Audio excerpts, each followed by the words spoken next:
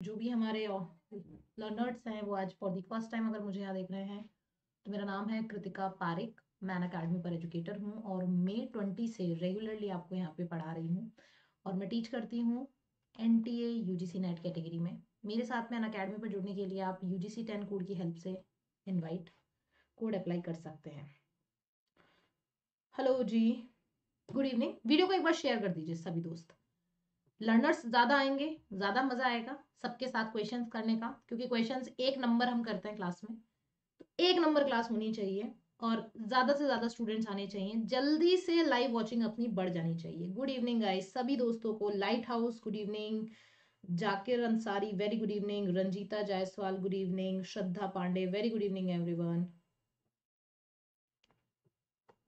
तो क्योंकि आज हम करने वाले हैं क्वेश्चंस ज़्यादातर अर्थक्विक के ऊपर। कल तक हमने वॉल्केनिक एंड अर्थक्विक से रिलेटेड क्वेश्चंस कर लिए थे वैसे तो। अर्थक्विक और फिर उसके बाद में मतलब सेस्मिक एक्टिविटी से रिलेटेड क्वेश्चन है और फिर सुनामी माउंटेन बिल्डिंग फिर इरोजन डिपोजिशन मतलब सिलेबस टू सिलेबस आपका काम होता जाएगा। आप लोगों को सिर्फ़ वीडियो को शेयर करना है और लाइव वॉचिंग क्लास की बढ़ानी है। मैक्सिमम लोग क्लास को अटेंड करने चाहिए क्योंकि जितना कॉम्पिटिशन बढ़ेगा ना, उतना मज़ा आएगा। हाय काजल। तो शुरुआत करी जाए आज की क्लास की। क्लास की शुरुआत से पहले एक बार जल्दी से थम्स अप सबकी तरफ़ से।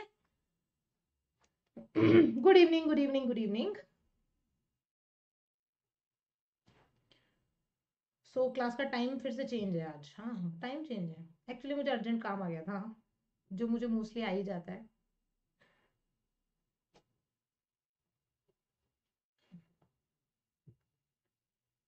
क्यों? लाइट हाउस क्या जल्दी है? लाइट तो आ रही है ना। लाइट थोड़ी जाने वाली है जो जल्दी करें। करते हैं, थोड़ी बातचीत तो करने दीजिए।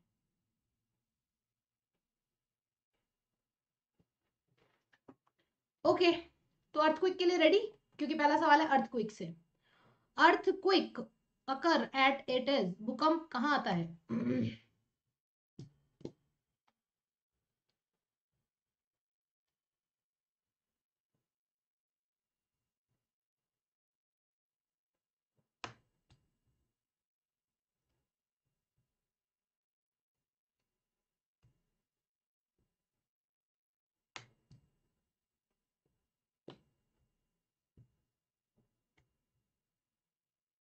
वीडियो क्वालिटी आप लोगों की एटलीस्ट 360 होनी चाहिए। 360 पे आपको क्लियर दिखेगा।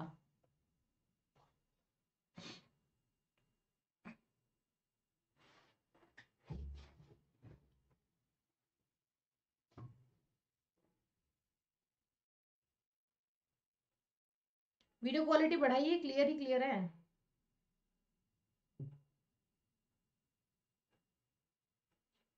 चलिए तो मैं आंसर इसका बता देती हूँ आपको राइट आंसर होगा option number D earthquake earthquake earth के इंटरनल पार्ट से निकलने वाली क्योंकि सेस्मिक वेव्स हैं। अब सेस्मिक वेव्स कैसे निकल सकती हैं? डाइवर्जेंट प्लेट बाउंड्री मतलब जब दो प्लेट्स ऑपोजिट जाती हैं एक दूसरे से, तब बीच में से सेस्मिक वेव्स निकल सकती हैं।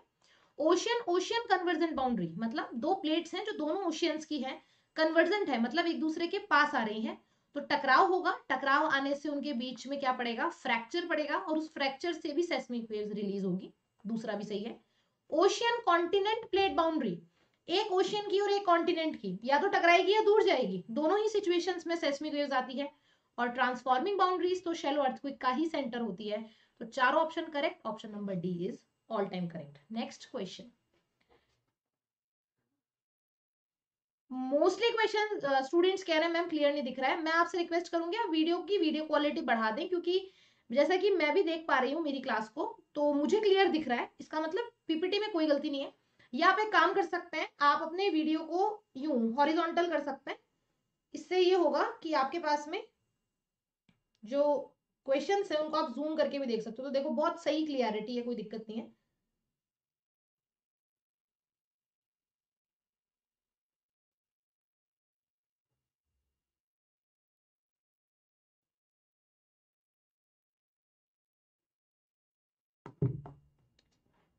मेरी क्वालिटी परफेक्ट है।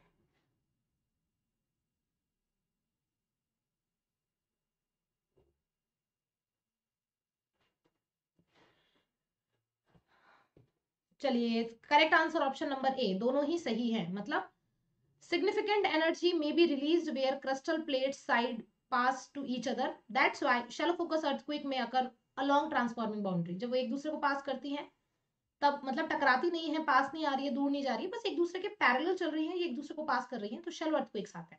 अगला। असर्शन एंड रीजन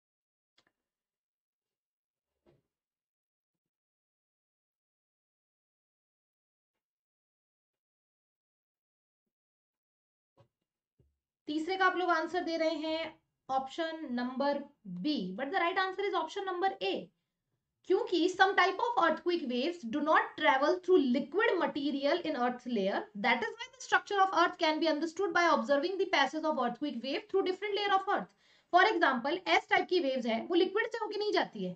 तो हम कैसे अंदाज़ा लगाते हैं कि जो शेडो जोन बनता है अर्थक्विक का तो हम ये देखते हैं कि यहाँ पे सेस्मिक वेव्स आई ही नहीं।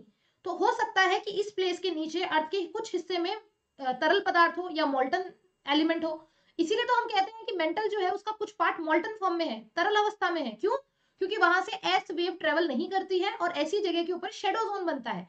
तो अर्थ का इंटीरियर पार्ट की जानकारी के लिए जितने ऑथेंटिक सोर्स एसेस्मिक वेव्स हैं, उतना शायद कोई भी नहीं है, क्योंकि वो कंप्लीट इंटरनल पार्ट से होकर के बाहर आ रही है।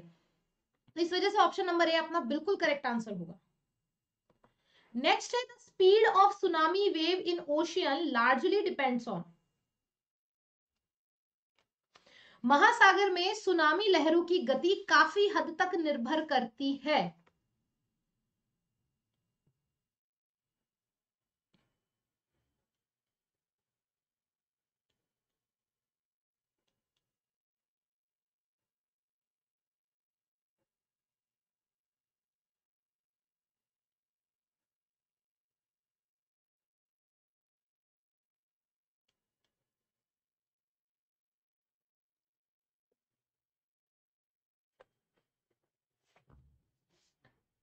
So correct answer is option number A ocean depth कभी भी महासागर में सुनामी लहरों की जो गति होती है, उसकी सबसे इंपॉर्टेंस ये होती है कि वो जितनी ज़्यादा डेप्थ में होगी, वो उतनी ही फास्ट होगी और वो जितनी ज़्यादा कम गहराई पर होगी, वो उतनी ही शेलो होगी।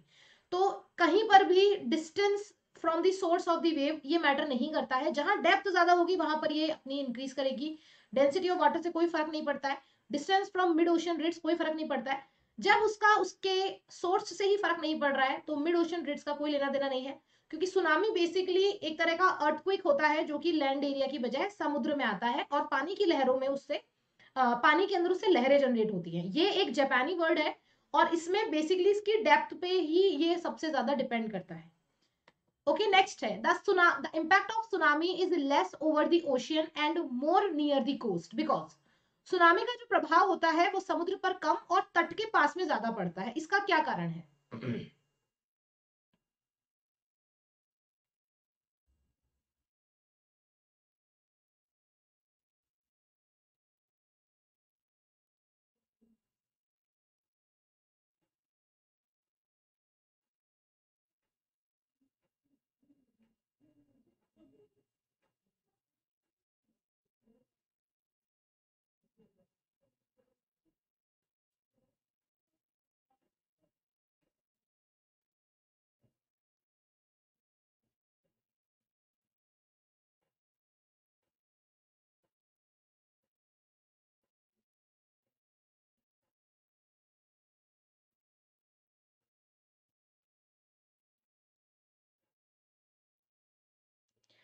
सही जवाब होगा ओनली ऑप्शन नंबर टू देखिए इम्पैक्ट ऑफ़ सुनामी ये बोला जा रहा है कि इसका जो असर होता है वो जहाँ ये जनरेट हो रही है जहाँ पर इसकी डेप्थ ज़्यादा है जहाँ पर इसकी आ, देखा जाए तो स्पीड भी ज़्यादा होती है वहाँ इसका नुकसान ये नहीं पहुंचाती है। ये कोस्ट के पास में आके नुकसान पहुंचाती है। इसका रीजन क्या है? तो the wavelength of tsunami water reduce at it approach the coast wavelength एक तो होती है इसकी वेवलेंथ का मतलब ये होता है कि ये कितनी गहराई से आ रही है। तो जब इसकी गहराई होती है तो इसकी स्पीड फास्ट होती है। लेकिन जैसे जैसे इसकी गहराई कम होती जाती है तो क्या होने लगता है? ये रिड्यूस होने लगती है और स्पीड डाउन होने लगती है, जिसकी वजह से ये अपने आसपास के इलाके में तबाही मचाती है। और जो एक इंपॉर्टेंट शब्द यहाँ दिया गया है ना टाइड्स गाइस टाइड्स का सुनामी से कोई लेना और देना दोनों ही नहीं है।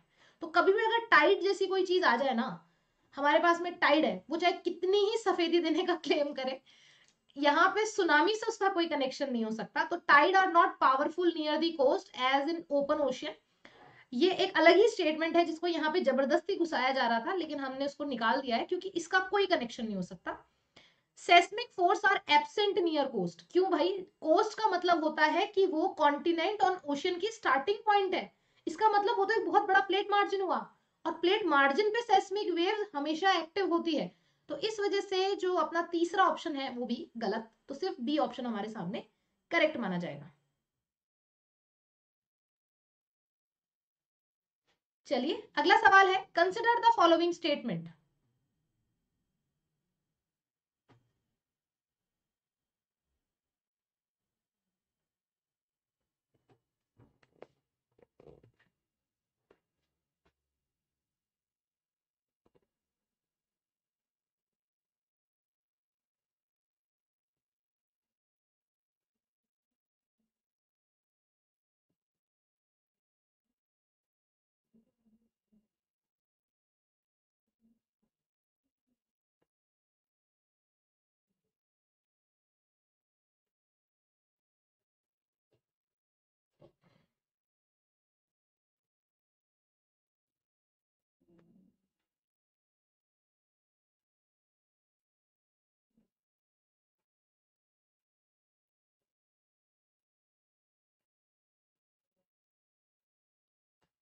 सही जवाब ऑप्शन नंबर सी क्योंकि मैंने साफ़ आपको बताया था टाइड्स का कोई लेना देना नहीं है तो टाइड्स और सुनामी ये कभी आपस में मिल नहीं सकते, क्योंकि इसकी जगह अगर मान लो अर्थक्विक होता वॉल्केनो होता तो हम ये कह सकते थे कि अर्थक्विक या वॉल्केनिज्म जो है volcanism are an important driving force behind occurrence of tsunami may be क्योंकि सुनामी जो है, वो एक जियोलॉजिकल एलिमेंट है जियोलॉजिकल ऑब्जेक्ट है, ये अर्थ के इंटरनल पार्ट में हो रही है ना ये एक्टिविटी तो इंटरनल पार्ट की एक्टिविटी का बाहर से क्या लेना देना? टाइड जो है वो एक एक्सटर्नल एक्टिविटी है। वो आपके सन मून इसकी वजह से हो रही है, जबकि सुनामी जो है वो इंटरनल सेस्मिक वेव की वजह से आ रही है। तो इनका कनेक्शन नहीं हो सकता। तो दूसरा गलत है। पहला tsunami grow in height when they reach to the shallower water most tsunami happen Pacific ring of fire guys 80% of tsunami जो है वो पैसिफिक रिंग ऑफ़ फायर में आती है, क्योंकि वहाँ पे एक्टिव प्लेट मार्जिन है।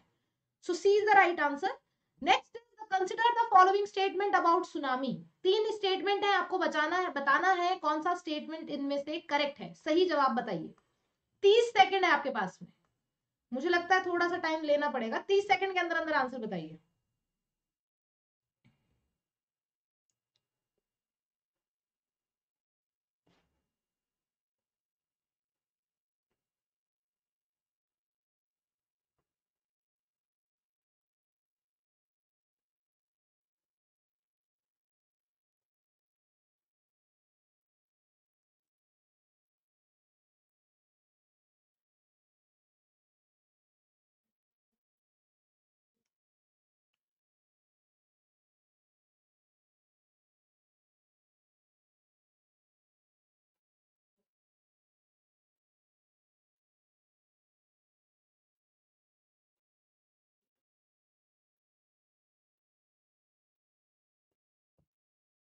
सही जवाब है option number C only.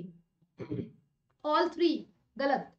सही जवाब होगा सिर्फ़ और सिर्फ़ ऑप्शन नंबर बी, क्योंकि यहाँ पे सबसे पहले हम कंसिडर करें the speed of wave in the ocean depends upon the depth of the water यहाँ तक सही था। It is more in the shallow water than in the deep ocean यहाँ पे क्या लिखा है कि पानी की जो लहरों की जो गति होती है वो क्या है? गहरे समुद्र की तुलना में उथले पानी में अधिक होती है। गाइस एक तो होती है स्पीड ठीक है? और एक होती है हाइट तो यहाँ पे जो बात करी जा रही है यहाँ स्पीड की तो स्पीड ऑब्वियसली डीप वाटर में ज़्यादा होगी शेलो वाटर में कम होगी।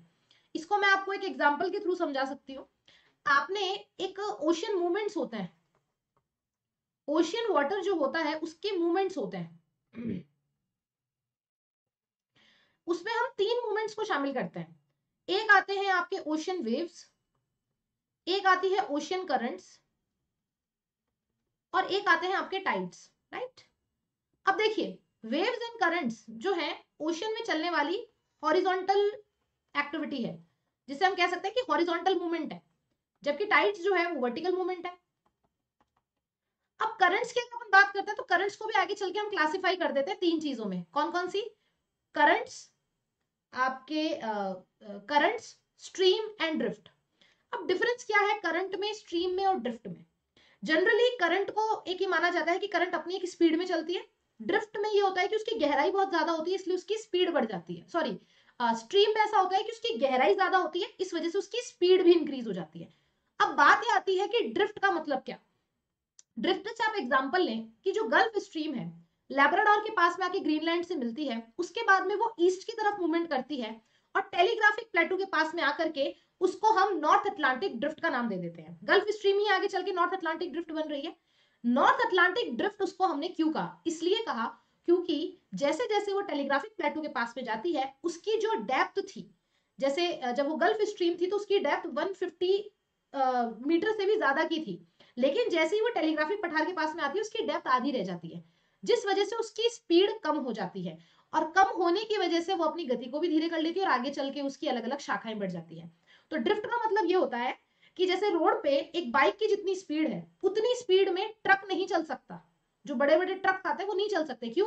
क्योंकि बाइक छोटी है, आराम से चलती है। ट्रक बहुत बड़ा होता है, उसको अपनी स्पीड थोड़ी सी स्लो रखनी पड़ती है। तो वैसे ही जो करंट होती है, current is like a bike and truck is like a drift. अब इसी सेम कॉन्सेप्ट को आपको ओशियन वाटर पे लगा के देखना है। ओशियन वाटर में आप ये मानिए कि ये अपनी एक वाटर बॉडी है, ठीक है? और इस वाटर बॉडी में, देखिए, चलिए तो मानिए कि इस वाटर बॉडी में, इस पर्टिकुलर प्लेस पे, यहाँ पे आपकी सुनामी आ रही है। तो देखेंगे कि यहाँ से लेके यहाँ तक जैसे जैसे आप, अब यहाँ पर आपके आ रहा है कोस्टल एरिया ठीक है? ये है आपका तटीय क्षेत्र। अब देखेंगे। तो ये तो कंप्लीट पानी है तो यहाँ पे क्या है? डेप्थ ज़्यादा है। हाई डेप्थ है। हाई डेप्थ है। अब आप देखेंगे कि जहाँ पे डेप्थ ज़्यादा होगी, इसकी स्पीड फास्ट होगी। फिर थोड़ी दूर पे जाएँगे डेप्थ क्या हो जाएगी? मीडियम हो जाएगी। मीडियम डेप्थ होगी स्पीड थोड़ी सी कम हो जाएगी। और फिर जैसे ही ये नियर दी कोस्ट पहुंचेगी तो इसकी जो डेप्थ होगी वो क्या हो जाएगी? लो हो जाएगी। इस वजह से इसकी स्पीड बिल्कुल डाउन हो जाएगी।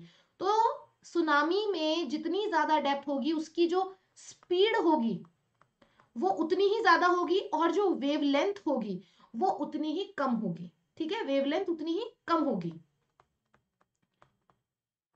वेवलेंथ कम होगी। अब जैसे ही स्पीड जो है स्पीड अगर कम होगी तो कंपैरेटिवली जो वेवलेंथ है वो क्या हो जाएगी? ज़्यादा हो जाएगी। इसी वजह से तो सुनामी तट के पास में आकर नुकसान पहुंचाती है, क्योंकि इसकी वेवलेंथ बढ़ जाती है, उसकी हाइट बढ़ जाती है। यहाँ पे उसकी हाइट ज़्यादा नहीं होती है, क्योंकि कुछ इस स्पीड से चलती है। तट के पास में ही ऐसी हो जाती है तो इनकी वेवलेंथ बढ़ जाती है। ओके अब यहाँ पे देखेंगे the speed of wave in the ocean depends upon the depth of the water completely true है। It is more in the shallow water than in the ocean deeps opposite है। It is more in the ocean deeps than in the shallow water तो पहला गलत। दूसरा as a result of this the impact of tsunami is less over the ocean and more near the coast whether they are large scale devastation क्यों? क्योंकि wavelength जहाँ speed ज़्यादा होती है, वहाँ कम होती है। जहाँ स्पीड कम होती है, वहाँ वेवलेंथ ज़्यादा होती है और ज़्यादा वेवलेंथ रिज़ल्ट है, ज़्यादा डिस्ट्रक्शन का।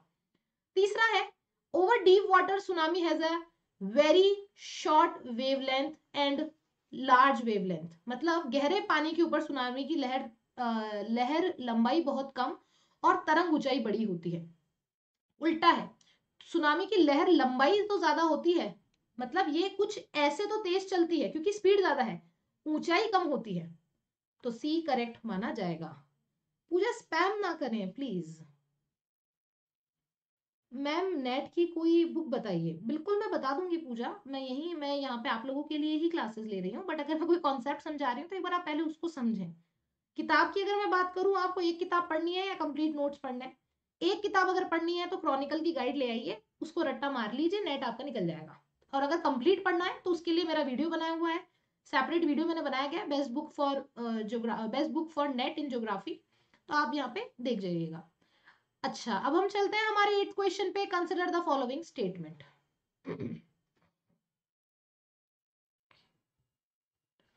surface ocean currents are driven mainly by tectonic movement in the ocean depth tsunami in the world are produced by consistent unidirectional wind movement during high tides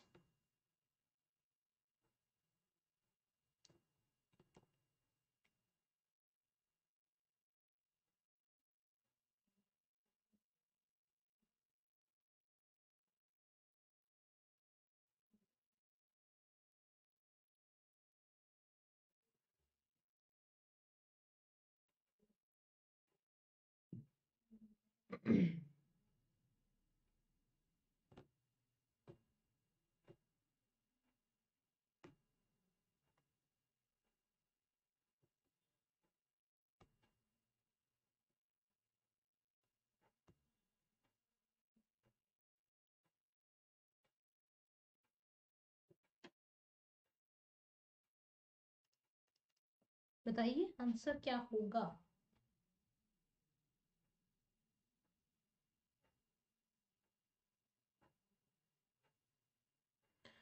सही जवाब है D very good none of these कोई भी नहीं. क्योंकि यहाँ पर आप देखेंगे surface ocean currents driven by mainly tectonic movement in ocean depths obviously not ये जो मूवमेंट्स होते हैं, ये due to changes in temperature changes in density of ocean water and mainly its gravity. For example equator के पास equator का जो पानी है, वहाँ पे टेम्परेचर ज़्यादा है। टेम्परेचर ज़्यादा होने की वजह से, या मान लीजिए कि वहाँ का जो वाटर लेवल है, वो कंपैरेटिवली हाई है। तो वाटर लेवल हाई होता है तो वो किस तरफ़ मूवमेंट करता है? जहाँ लोअर वाटर लेवल होता है। तो इसी वजह से करंट्स का जो फ्लो होता है, वो equator to north and south की तरफ़ चलता है। तो ये टेक्टोनिक फोर्स इसके लिए रिस्पॉन्सिबल नहीं है। इसके लिए टेम्परेचर या डेंसिटी में डिफरेंसेस रिस्पॉन्सिबल है। वहीं दूसरी तरफ़ strongest tsunami in the world are produce by consistent unidirection wind movement during the high tides मैंने बोला था ना हाई टाइड्स टाइड्स का कोई लेना देना नहीं है। तो यहाँ पे दूसरा भी गलत है, ऐसा नहीं होता है। करेक्ट आंसर होगा ऑप्शन नंबर डी अगला है फोल्ड माउंटेन से रिलेटेड बताएँ माउंटेन बिल्डिंग सब आपके क्वेश्चन है।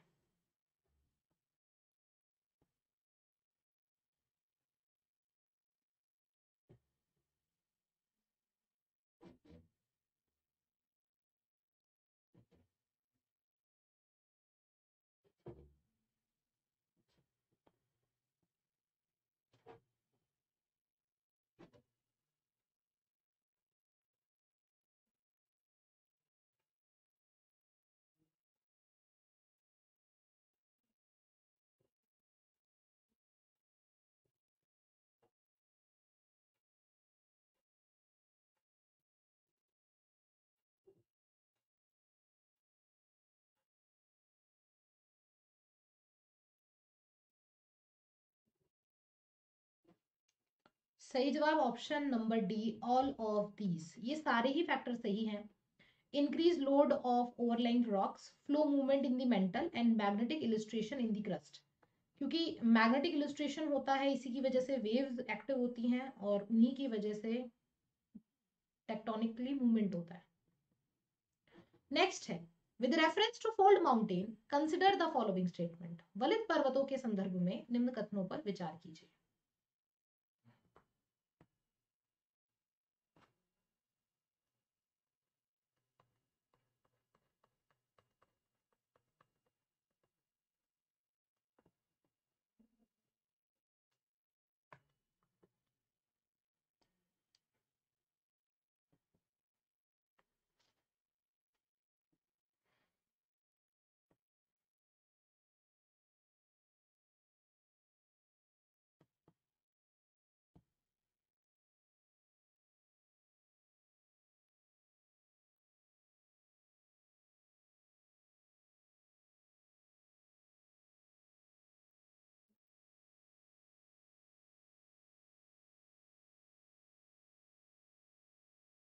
सही जवाब है ऑप्शन नंबर बी।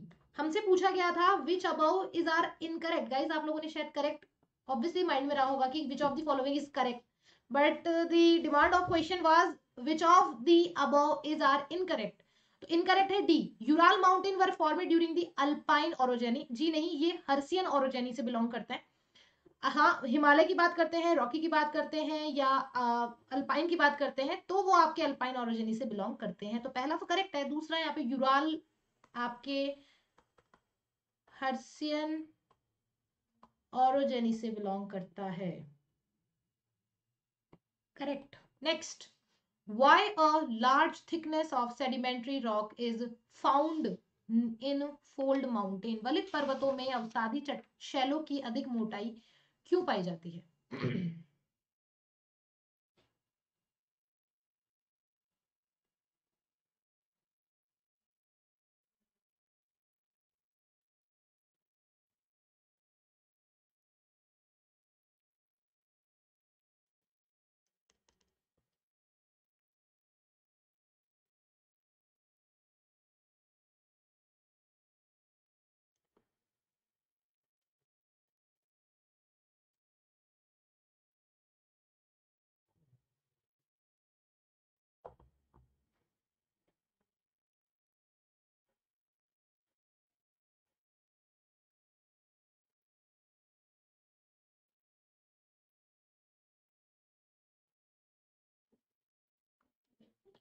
सी आंसर होगा due to accumulation of sediments in a geosyncline आपको कोबर की थ्योरी याद होगी जो उन्होंने हिमालय से रिलेटेड थ्योरी दी थी कि टेथिस सी के जो सेडिमेंट्स हैं सॉरी जो माउंटेन्स की सेडिमेंट्स हैं, वो टेथिस सी में जमा हुए हैं और उनसे इसका निर्माण हुआ है। तो ये एक बेसिकली जियोसिंक्लाइन थ्योरी है कि वलित पर्वतों में अवसादों की चट्टाने की क्यों पाई जाती है, क्योंकि रेगुलरली अवसादों का जमाव होने की वजह से एक्यूमुलेशन हो जाता है सेडिमेंट्स का और उसी वजह से ये रीजन माना गया है। C is the right answer अगला है which of the following are example of fold mountain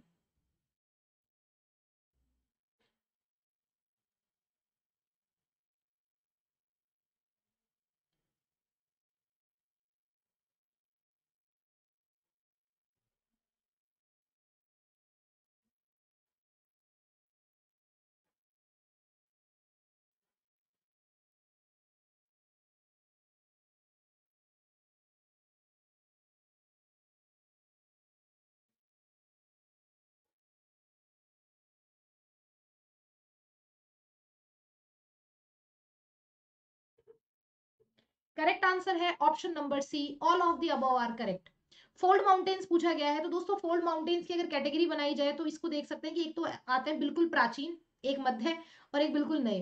तो अगर हिमालय की बात की जाए कि इंडिया में हिमालय और आल्पस यूरोप में, ये दोनों ही यंग फोल्ड माउंटेन है और यंग फोल्ड माउंटेन की विशेषता ये होती है कि उनका, उनकी जो पीक होती है, ठीक है, वो बहुत ज़्यादा कॉनिकल होती है।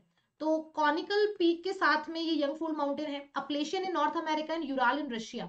ये क्या है? ये राउंडेड फोल्ड माउंटेन है जिनका एलिवेशन ऑटोमेटिकली बहुत कम है। इनकी ऊंचाई कम है। जैसे हिमालय की तो दुनिया में सबसे ज़्यादा ऊंचाई है, लेकिन जो अपलेशियन और यूराल है, इनकी हाइट कंपैरेटिवली कम है। बात करते हैं अरावली की तो अरावली दुनिया का सबसे प्राचीन, दुनिया के सबसे प्राचीन पर्वतों में इसकी गिनती करी जाती है, जो कि मोस्ट ओल्ड फोल्ड माउंटेन है और आज की डेट में ये एक अवशिष्ट पर्वत बन के रह गया है, क्योंकि इसका हद मात्रा में इरोजन हो चुका है। तो C is the right answer अगला है which of the following are the salient features of fold mountain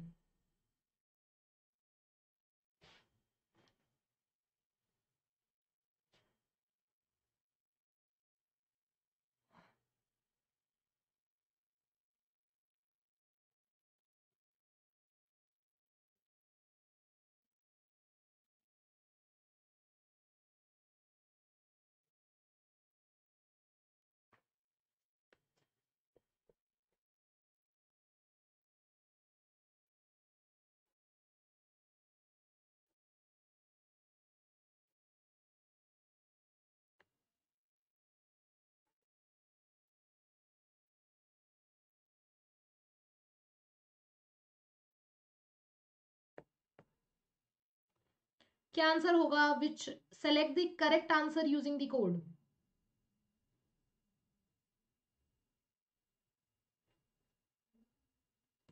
guys right answer is option number D आपको बताया गया था कि सही बताए। इनमें से कोई भी नहीं। मतलब सारे ही गलत हैं। गलत ऐसे हैं। पहला अगर बात करें they are least likely to have conical peaks तो क्योंकि हमसे कंसिडर करने को बोल रहे हैं कि फोल्ड माउंटेन को कंसिडर करें तो दोस्तों फोल्ड माउंटेन में आज की डेट में दुनिया का जो सबसे ऊँचा पर्वत है, उसे कहते हैं हम हिमालय। माउंट एवरेस्ट 8850 मीटर की जिसकी हाइट है, उसकी एक अच्छी कॉनिकल पीक्स है। इवन हिमालय की मोस्टली जितनी भी चोटियाँ हैं, सभी की कॉनिकल पीक्स हैं। तो इस वजह से पहला स्टेटमेंट अपना गलत हो जाता है।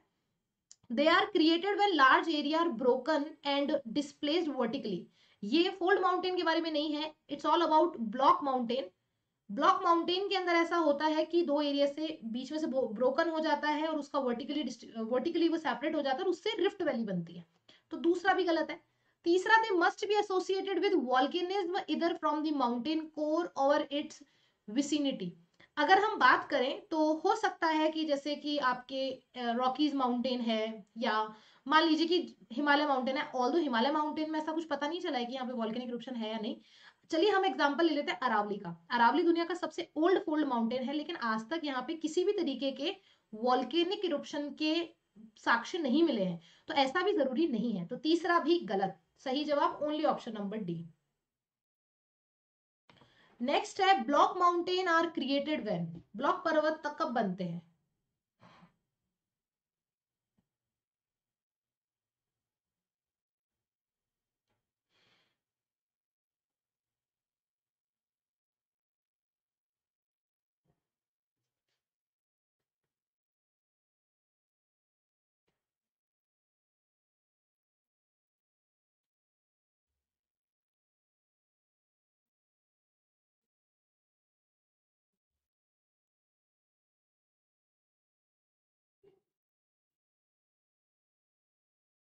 करेक्ट अभी मैंने बताया था कि large areas are broken and disparted vertically तो जब इनका वर्टिकली डिस्पार्ट इनका हो जाता है तो इससे क्या बनता है? जो अपलिफ्ट जिसे अपन कहते हैं, जो अपलिफ्ट ब्लॉक होता है, उसको हम हर्ट्स कहते हैं और जो डाउनवर्ड ब्लॉक होता है, उसे हम हर्ट्स एंड ग्रैबन उसे हम ग्रैबन कहते हैं।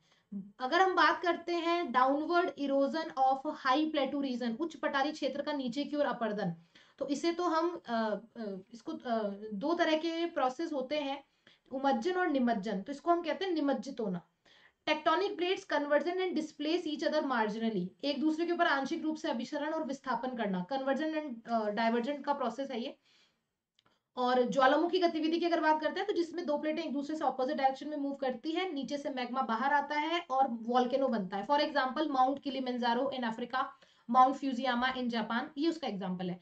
B is the right answer अगला tectonic plateaus are formed due to earth movement that causes uplift which of the following are tectonic plateaus found on earth बताइए।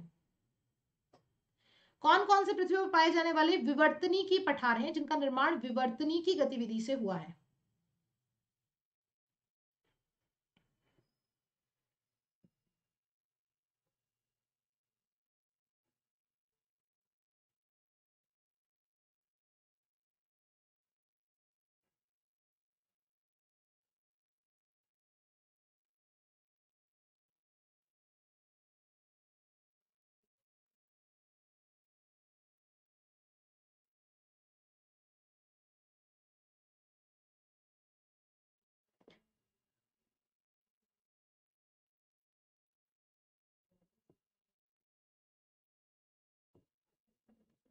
सही जवाब है ऑप्शन नंबर डी। जितने भी यहाँ पे प्लेटू बने हैं मेजरली वो किससे बने हैं? टेक्टोनिक मूवमेंट्स की वजह से बनते हैं। चाहे वो मिसेटा सेंट्रल इबेरिया हो या जर्मनी का हर्ड्स हो तिब्बतियन प्लेटू हो या फिर बोलिवियन प्लेटू हो। क्योंकि Bolivian plateau two range of Andes के बीच में पाया जाता है तो इसका बेसिकली निर्माण कंसोलिडेशन ऑफ़ लावा की वजह से भी हो सकता है तो सेडिमेंट्स के जमाव की वजह से भी हो सकता है। तो D is the right answer majorly जो प्लेटूज बनते हैं क्योंकि प्लेटूज एक ठोस चट्टान होती है और हाईलैंड होता है अपने आप में ये एक तो इसके पीछे रीजन मेनली वॉल्केनिक एक्टिविटी मानी जाती है मेनली और रीजन हो सकते हैं but major reason is volcanic activity या बेसाल्ट का आना, क्योंकि तभी तो वॉल्केनिक एक्टिविटी हो रही है, उससे बेसाल्ट बाहर आ रहा है, पतला लावा निकलता है और वो जमता है. नेक्स्ट है in humid highland several dissected plateaus like Scottish highland are found Which of the forts are responsible for the formation of such dissected plateaus?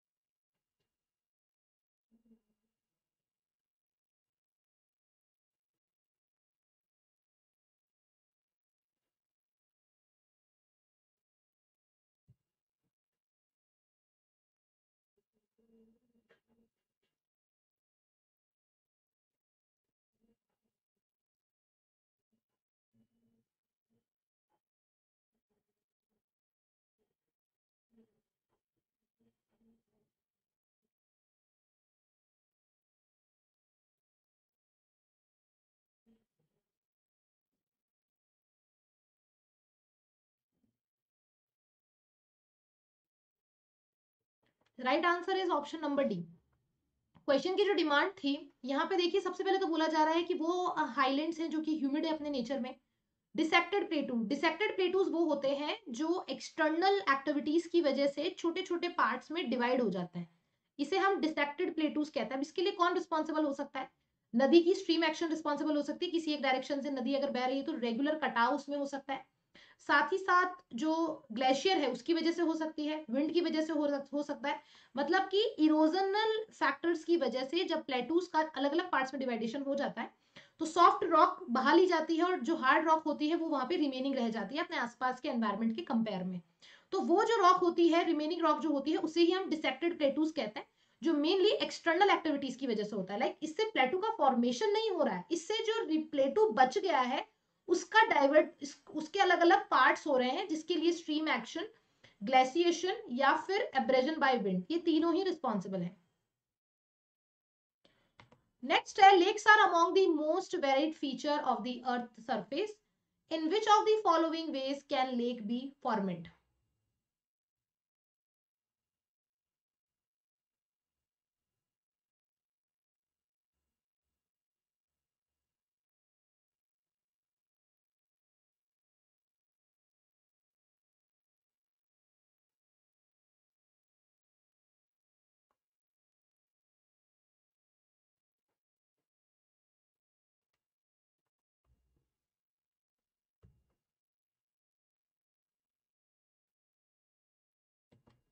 all of the above tectonic movements की वजह से भी हो सकता है glacier activity volcanic activity and river deposition झीलों के निर्माण के लिए, जैसे टेक्टोनिक मूवमेंट्स हैं ग्लेशियर एक्टिविटी उसकी वजह से आपके पेटनॉस्ट्रल लेक बनती है वॉल्केनिक एक्टिविटी से आपके क्रेटर लेक्स बनती है रिवर डिपोजिशन की वजह से आपके ऑक्सबो झील्स ऑक्सबो लेक्स बनती है। ये सारी आपके किसके एग्ज़ाम्पल है? मतलब कि जो रिवर का निर्माण है, वो कैसे भी हो सकता है। हाँ पेटनॉस्ट्रल झील होती हैं जो कि बीच बीच में बन जाती हैं और ये बहुत सारी बनती है जिन्हें दूर से देखने पर ये झील माला भी इन्हें कहा जाता है। तो झील माला एक इसका एक अच्छा एग्ज़ाम्पल है।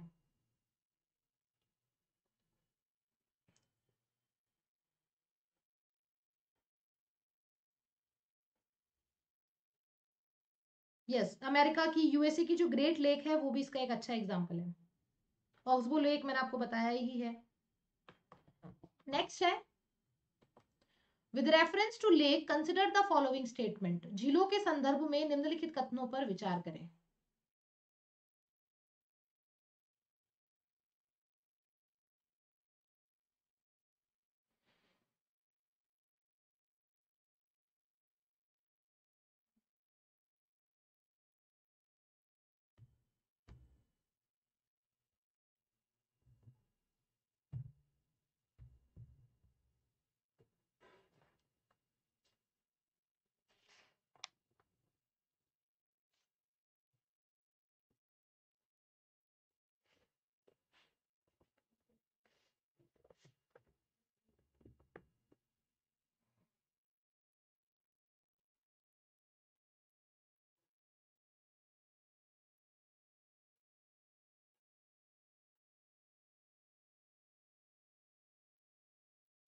सही जवाब है ऑप्शन नंबर ए। बी क्यों कर रहे हैं आप? Only one and B lakes are the temporary features of the earth crust क्योंकि ये बनी भी जाती है और ये बिगाड़ी भी जाती है।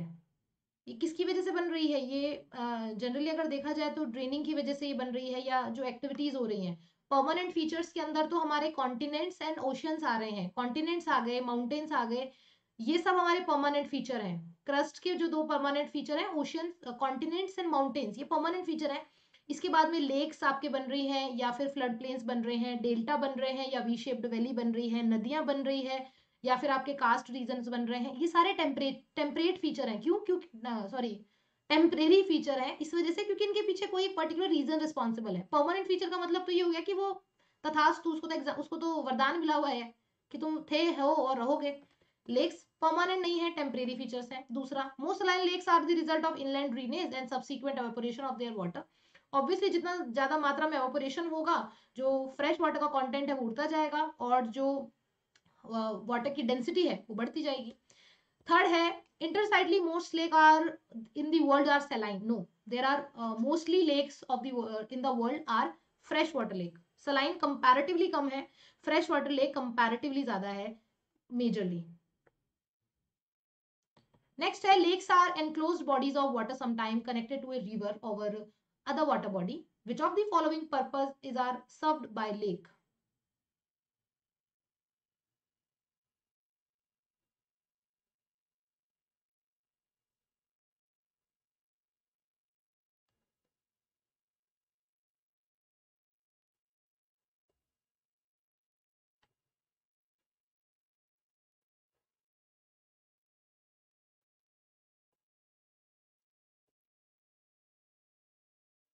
सही जवाब है option number D helps to regulate the flow of a river during heavy rainfall it prevents flooding बारिश के दौरान ये बाढ़ को रोकती है और सूखे के दौरान ये जल के फ्लो को बढ़ाती है। बैलेंस का काम करती है। Which of the following factor at the weathering of rock निम्न में से कौन से कारक चट्टान के अपक्षय में सहायता करते हैं?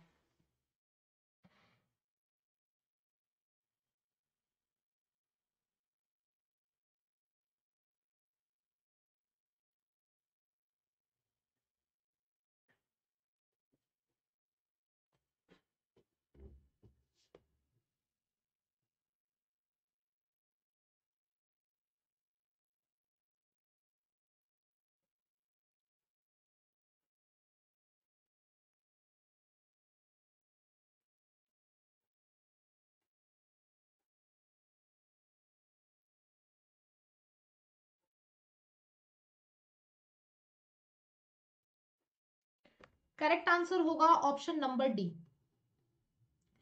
वेदरिंग का मतलब होता है कोई भी एक चट्टान है, वो अपनी ही जगह के ऊपर अलग अलग ब्लॉक्स में टूट गई है। मतलब उसको किसी ने टच नहीं किया है, बस वो टूट गई है। इसकी वजह से क्या हो रहा है? Intense heating during the day and rapid cooling at the night इसे हम कहते हैं फ़िज़िकल वेदरिंग और इसको मेजरली इसको कहा जाता है, ये आपका जो पर्टिकुलर है, इसमें होता ये है कि ड्यूनल रेंज डेजर्ट रीजन की हाई होती है। ड्यूनल रेंज का मतलब होता है एक दिन का मैक्सिमम टेम्परेचर और उसी दिन का मिनिमम टेम्परेचर के बीच का गैप। तो मान लीजिए कि डेजर्ट रीजन में दिन का टेम्परेचर चला गया 40 डिग्री सेल्सियस और नाइट में वो टेम्परेचर आ जाता है 30 डिग्री सेल्सियस। तो तीन, तीस, थर्टी डिग्री या 25 डिग्री तो 15 डिग्री का डिफरेंस आ गया। इसका मतलब 15 डिग्री ड्यूनल रेंज है तो ये अपने आप में हाई रहे तो दिन में एक्सेस हीटिंग की वजह से वो गर्म हो जाता है और रात में एक्सेस टेम्परेचर डाउन जाने के चक्कर में या रेडिएशन के चक्कर में वो ठंडा हो जाता है। तो consist continuously heating and cooling heating cooling की वजह से वो चट्टान में क्रैक्स पड़ जाते हैं और उसी क्रैक की वजह से वो टूट जाती है। Pore pressure of water spreading into rocks जब पानी रॉक्स में जाता है तो जब पानी ठंडा होता है या जमता है तो आपको पता है कि पानी फोर डिग्री सेल्सियस पे आके अपनी हाईएस्ट डेंसिटी पे होता है तो पानी अपना आकार बढ़ा लेता है। तो वो चट्टान को भी थोड़ा सा स्प्रेड कर देता है, बढ़ा देता है। दिन में फिर पानी पिघला, फिर रात को जमा, फिर पानी ने अपना दाब बढ़ा दिया। तो ऐसे जब रेगुलरली प्रोसेस चलता रहता है तो पानी क्या करता है एक्सटेंड करता करता उस चट्टान को वर्टिकली टुकड़ों में काट देता है। ये आपको मेजरली फ्रॉस्ट रीजन में देखने को मिलेगा, जहाँ पे ठंडक ज़्यादा होती है। फिर आपके आती है थ्रोइंग ऑफ़ रॉक चट्टानों का पिघलना मतलब एक्सेस मेल्टिंग की वजह से। तो यही सभी चीज़ें आपके सहायता करते हैं मेजरली जिसे अपन कह सकते हैं आपके फ़िज़िकल वेदरिंग में। Next which of the following force affect the process of physical weathering of rock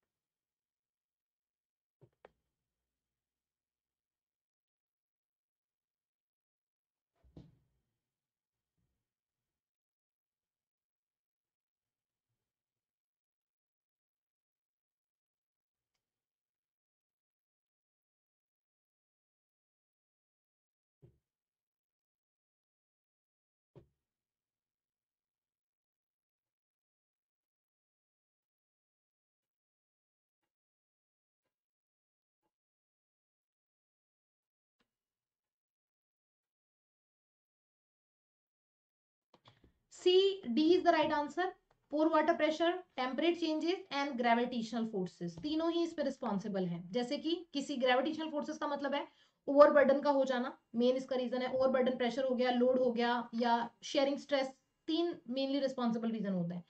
next है which of the following process contribute to the enrichment of minerals in rock निम्नलिखित में से कौन सी प्रक्रिया चट्टानों में, खनिजों के संवर्धन में योगदान करती है?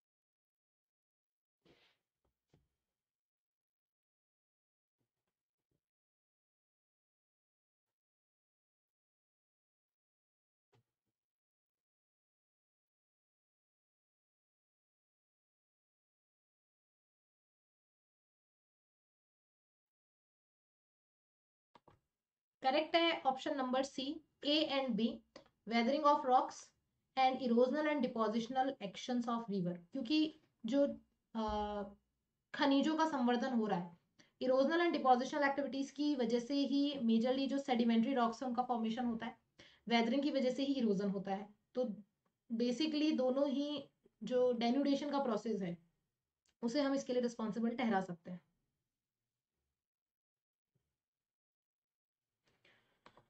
नेक्स्ट है how is the phenomenon of weathering important for us अपक्ष अपक्षय की परिघटना हमारे लिए किस प्रकार महत्वपूर्ण है?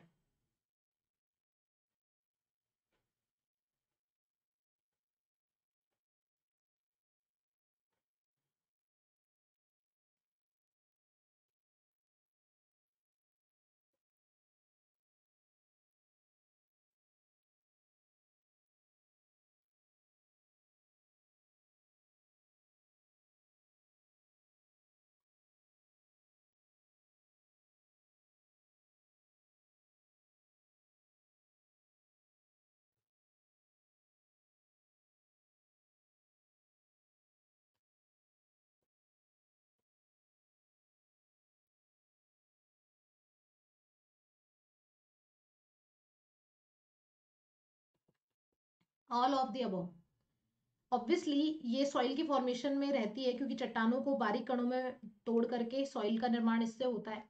It help in the enrichment of valuable mineral और earth for their commercial extraction to be made possible it is responsible for shaping and denuding large landform on earth second last question with reference to mass movement of soil, consider the following statement.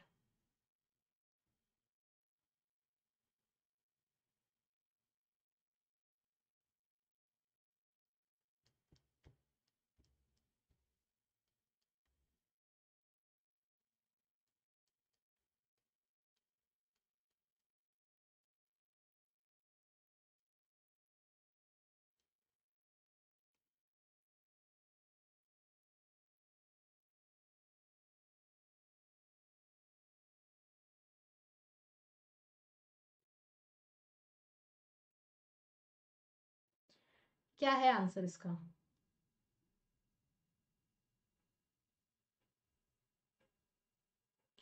Very good Tanushree Chattopadhyay D all are incorrect सारे ही incorrect हैं, क्योंकि यहाँ पे सबसे पहले ये word हम समझेंगे कि सॉइल क्रीपिंग क्या होती है और सॉइल का फ्लो क्या होता है। सॉइल क्रीप का मतलब होता है स्लो मूवमेंट तो यहाँ पे soil creep is fast continuous movement of soil down hill slope तो ये स्लो मूवमेंट होता है तो फास्ट आ गया तो गलत है।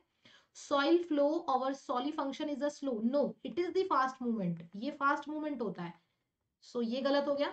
In soil creep soil act as a liquid and hence it creep fast obviously not creep slow जब वहाँ पे आप हिंदी में भी देखेंगे तो रेंगने का मतलब होता है स्लो स्पीड से चलना कछुए की चाल चलना। सांप कैसे चलता है? रेंगता है धीरे धीरे धीरे धीरे धीरे। तो इसका मतलब ये है कि ये तेज प्रवाह में नहीं होता है। तो तीनों ही यहाँ पे हमारे गलत। Now the last question is exfoliation refers to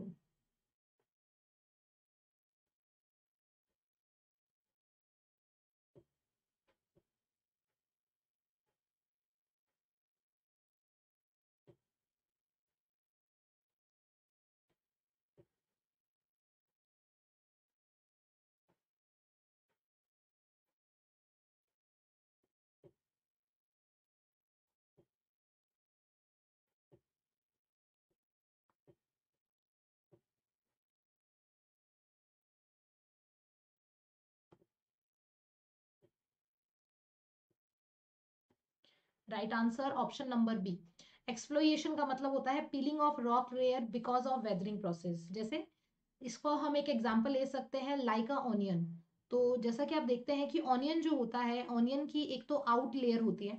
उसकी आप एक लेयर को हटाएँगे तो फिर दूसरी लेयर दूसरी को हटाएँगे, तीसरी तीसरी को हटाएँगे, चौथी, पांचवी, छठी। एक टाइम ऐसा आएगा कि ऑनियन ही खत्म हो जाएगा। कॉलीफ्लावर इसका एक एग्ज़ाम्पल ले सकता है। लेयर उसके पत्ते हटाते जाएँगे हटाते जाएँगे एंड में वही खत्म हो जाएगी। तो वैसे ही मान लीजिए कि कोई एक पर्टिकुलर चट्टान है। उस चट्टान पे, उस रॉक के ऊपर अगर डायरेक्टली सनलाइट आ रही है तो उससे क्या होता है? उसकी जो आउटर लेयर होती है आउटर लेयर क्योंकि क्या हो जाती है? गर्म हो जाती है। गर्म होने की वजह से वो टूट जाती है। तो आउटर लेयर खत्म हो गई तो इसकी एक लेयर निकल गई। अब लेकिन जो उसके अंदर की लेयर थी, वो कंप्लीटली अनजान है कि बाहर क्या हो रहा है, क्योंकि बाहर की लेयर ठंडी हो रही है, गर्म हो रही है, ठंडी हो रही है, गर्म हो रही है, वो टूट गई। अब जैसे ही वो टूटी तो जो अंदर की लेयर थी मतलब जो सेकेंड लेयर थी अब वो फ़र्स्ट लेयर बन चुकी है। अब सन की रेज उसके ऊपर आएगी। फिर एक टाइम आएगा कि ये भी ठंडी गर्म ठंडी गर्म होगी टूट जाएगी। देन फिर थर्ड लेयर की बारी आएगी फिर फोर्थ लेयर की बारी आएगी। ऐसे करते करते चट्टान प्याज की परतों की तरह टूटती जाएगी खुलती जाएगी और टूटती जाएगी और इसी को हम एक्सप्लोएशन कहेंगे।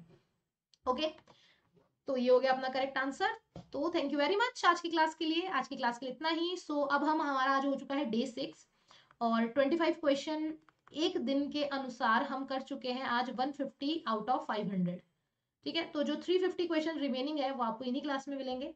कल हमारी क्लास होगी शाम को तीन बजे थ्री पी पे, इसी चैनल पे। और उसके बाद में क्लास होगी चार बजे अकेडमी लर्निंग ऐप पे। तो आप अगर मेरे साथ में क्लासेस लेना चाहते हैं और आपने अभी तक अन अकेडमी का ऐप डाउनलोड नहीं किया है, देखो अन अकेडमी का यूट्यूब चैनल को तो सब्सक्राइब कर ही लो फ्री है। लेकिन अन अकेडमी के लर्निंग ऐप को भी डाउनलोड कर लो, क्योंकि वो भी फ्री है। उसमें आपको एक रुपया नहीं देना है फ्री क्लास के लिए। इंस्टॉल करिए। इंस्टॉल करने के बाद में आपके क्या गोल हैं? आप किसकी तैयारी करना चाहते हैं? यूपीएससी एसएससी बैंक आरपीएससी बहुत सारी कैटेगरीज है। आपको NT UGC NET category choose करना है। जैसे ही कैटेगरी चूज़ करेंगे, आपके सामने ऑप्शन आ जाएँगे अपनी क्लासेस के। लेकिन आपको एक काम और करना है, आपको मेरी प्रोफ़ाइल को भी सर्च करना है, कृतिका पारिक के नाम से। सर्च करेंगे ऑफ़र आज और कल के लिए वैलिड है। सब्सक्रिप्शन लेने के लिए वीडियो के डिस्क्रिप्शन में भी लिंक है, आप वहाँ से इसको फॉलो कर सकते हैं। ठीक है? So thank you very much मिलते हैं अब आपसे हम कल की क्लास में। Have a nice day guys take care bye bye Unacademy का टेलीग्राम फॉलो कर लीजिए Unacademy UGC NET English और अगर चैनल पे फ़र्स्ट टाइम आए हैं तो सब्सक्राइब करके बेल आइकन दबा लीजिए। वीडियो को लाइक एंड शेयर कर दीजिए। Thank you good night